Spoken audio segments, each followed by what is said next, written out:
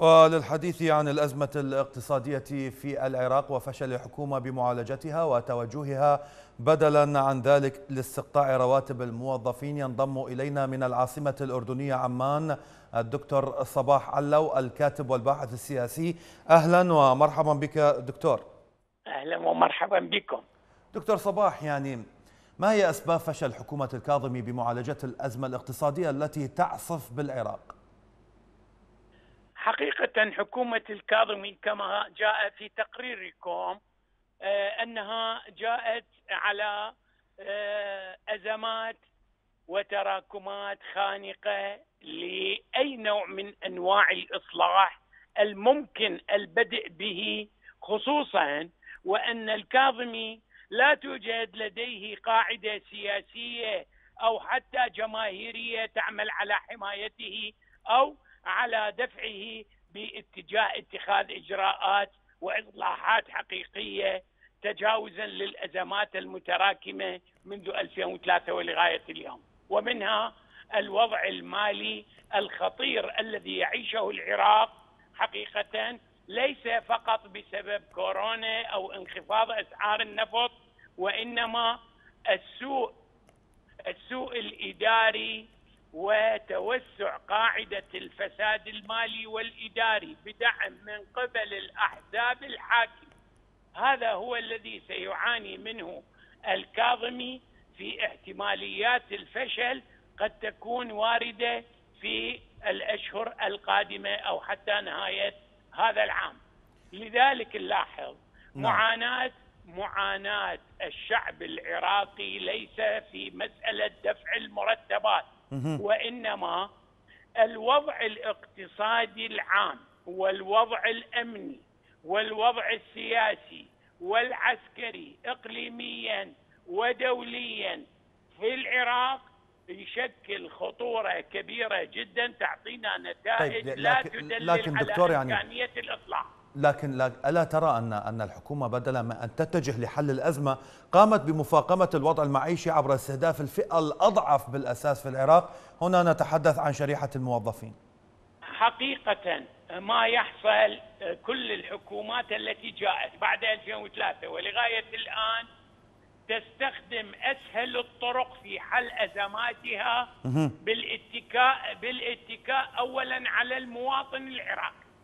ولذلك نلاحظ أسهل الطرق أيام حيدر العبادي هو الاتجاه باستخدام القروض الداخلية والخارجية لحل الأزمة عندما انخفضت أسعار النفط إلى دون الثلاثين تقريبا في وقتها. نعم. وحاليا أيضا هناك توجه لعمليات الاستقطاع من الموظفين.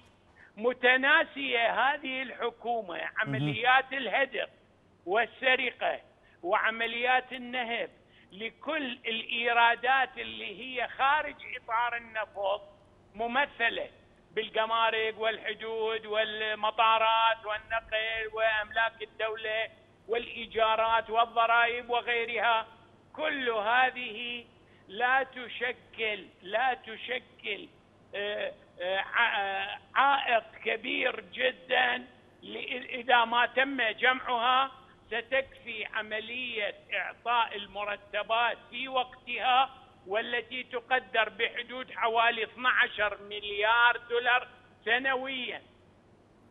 هذه لم ي... لم تعر لها الحكومات السابقة وما زال لغاية الآن حكومة الكاظمي حقيقة لم تتحرك بهذا الاتجاه كي تتوجه بشكل صحيح في التخفيف عن عملية استقطاع مرتبات من المواطن طيب. العراقي. السؤال الأهم هنا دكتور يعني هذه نعم. الأزمة الاقتصادية التي يمر بها العراق هل هي وليدة اللحظة إن كان الجواب لا من الذي أسهم في يعني آه، دخول العراق بهذه الأزمة وتبديد الأموال العراقية؟ الذي أسهم بشكل كبير جدا حالة الإرباك وعدم الوضوح في عملية توجيه الإيرادات الفلكية التي دخلت العراق خصوصا بعد 2009 إلى 2019 حقيقه قدرت بمبالغ أكثر من تريليون دولار آه، صرف منها بحدود حوالي 650 مليار. نعم. أي هناك ضياع بحدود حوالي 450 مليار دولار. تم هدرها وكذلك أو سرقتها أو تحويلها لمصالح شخصية أو غيرها. وهذا هو الذي أدى إلى وجود أزمة مالية مستمرة بحيث حتى أثناء ارتفاع أسعار النفط كانت الموازنات بها عجز. والعجز هذا وهمي من أجل استمرار عمليات النهب والسرقة. طيب نبقى يعني بالفساد الحكومي كيف لحكومة أن تقبل باستقبال مزيد من العمالة الأجنبية في ظل معدلات فقر تقفز لمستويات لم تشهدها البلاد من قبل. هناك سياسة واضحة حقيقة.